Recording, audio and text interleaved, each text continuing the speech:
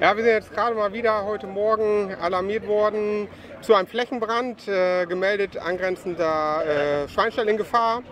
Haben auf der Anfahrt schon auf Sicht fahren können, ähm, haben daraufhin äh, etliche Feuerwehren dazu alarmiert, alles aus dem Umkreis, äh, sodass wir auch das Feuer gerade bei der trockenen Hitze schnell eindämmen konnten.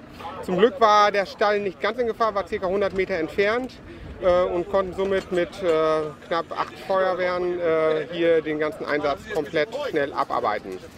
Ähm, ja, ähm, Hitze nach wie vor. Hoffen, dass es heute nicht äh, der, dass es der letzte Einsatz ist hier und ja,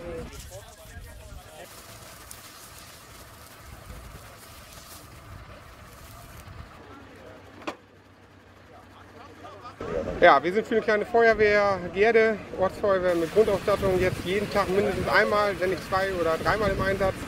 Und äh, das ist sehr kräftezehrend, gerade bei den Hitzen, bei der Hitze 40 Grad.